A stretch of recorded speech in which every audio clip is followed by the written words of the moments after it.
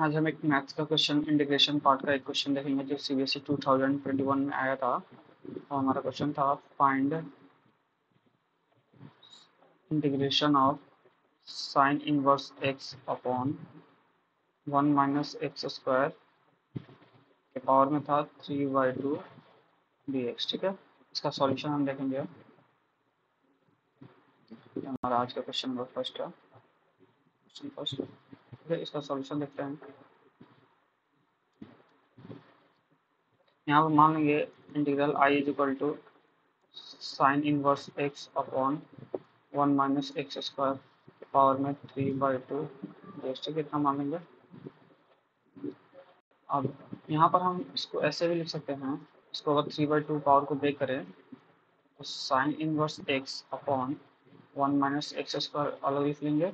और यहाँ पे लिख लेंगे वन माइनस एक्स स्क्वायर का पावर वन बाई टू। यहाँ power one one plus one by two, three by two power हो जाता है। इसको ब्रेक कर लिया हम इसको इस फॉर्म में इसलिए लिखे हैं क्योंकि आगे इसको इनको ब्रेक करके यूज़ करने में आसानी होगी, ठीक है? हम लेट कर लेंगे। Let t is equal to sine inverse x तो यहाँ से हमारी साइन टी की वैल्यू एक्स हो जाएगी। साइन को तो लेके जाएँगे तो साइन टी बराबर एक्स हो जाएगा, ठीक? यहाँ से इस एक्सप्रेशन का डिफ्रेंशिएशन करेंगे बोथ साइड तो d t is equal to differentiation of sine inverse x into d x ठीक है? साइन इनवर्स एक्स का डिफ्रेंशिएशन होता है one upon one minus x square d x d two ठीक है?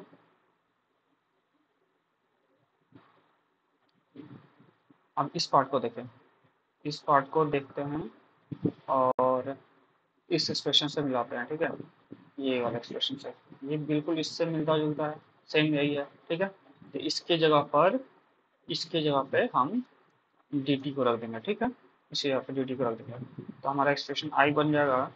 Integral sine verse x upon one minus x square और ये part हो जाएगा डी टी क्योंकि ये जो one upon under root one minus x square into d x था, ये वाला पार्ट ये वाला पार्ट ये वाला पार्ट हमारा डी टी के बराबर है। तो डी टी के बराबर हमने लिख दिया, ठीक है?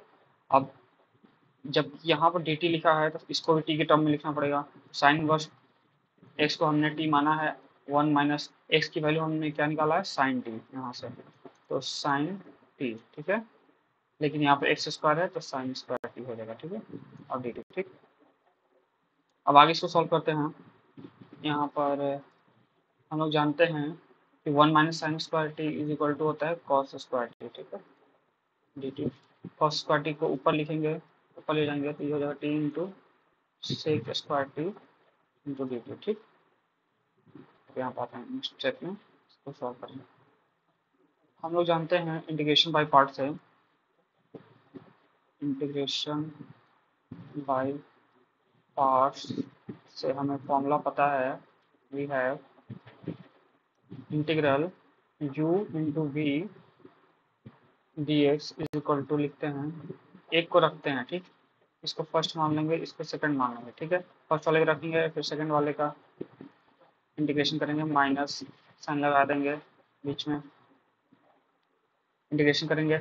जिसका रख, जिसको रखा था, u वाले को रखा था फ़र्स्ट मान के तो उसका डिफ्रेंशिएशन करेंगे d u by d x bracket लगा देंगे। फिर इसी के अंदर, इसी इंटीग्रेशन के अंदर एक और इंटीग्रेशन करके लिखेंगे v, जो फ़र्स्ट वाला ये टर्म है।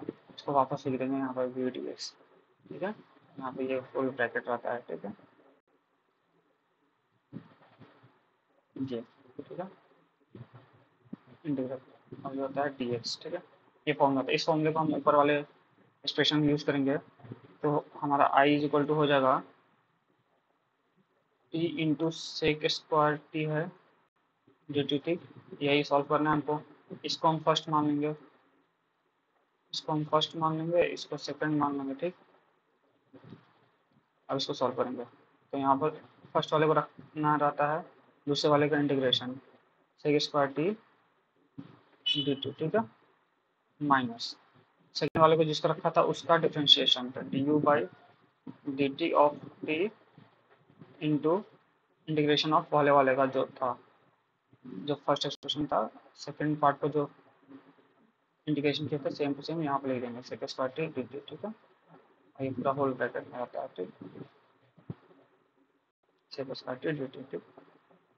और यहाँ से टी सेक स्क्वायर टी इसका इंटीग्रेशन होता है tan t t into tan t हो गया माइनस ये d t by d t differentiation of t ये हो जाएगा हमारा वन के बराबर, ठीक है? तो वन इंटू यहाँ सेक स्क्वायर टी यहाँ पर sec square t d t का इंटीग्रेशन होता है टेन टी ठीक है? टेन टी तो वन इंटू टेन टी यहाँ पर डी टी ठीक है? इसको सॉल्व करेंगे आगे तो हो जाएगा t into tan t plus n tan t integration of tan x d x होता है माइनस लॉग कॉस एक्स ठीक है?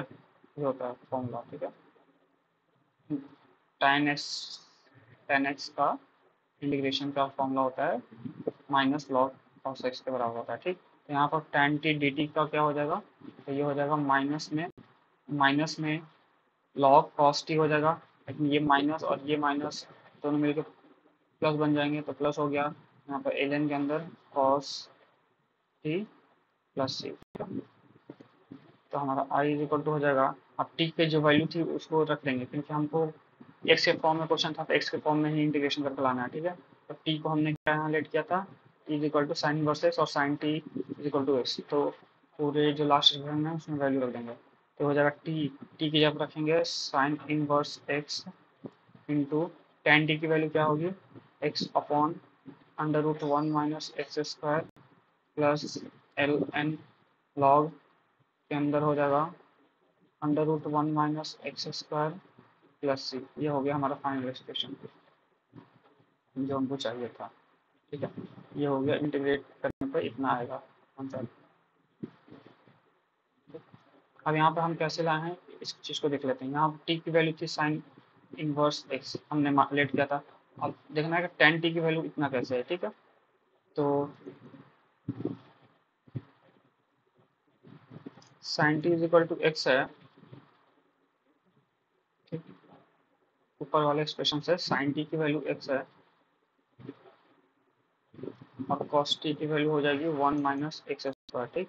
क्योंकि हम जानते हैं sine square theta plus cos square theta theta is equal to one होता है, ठीक है?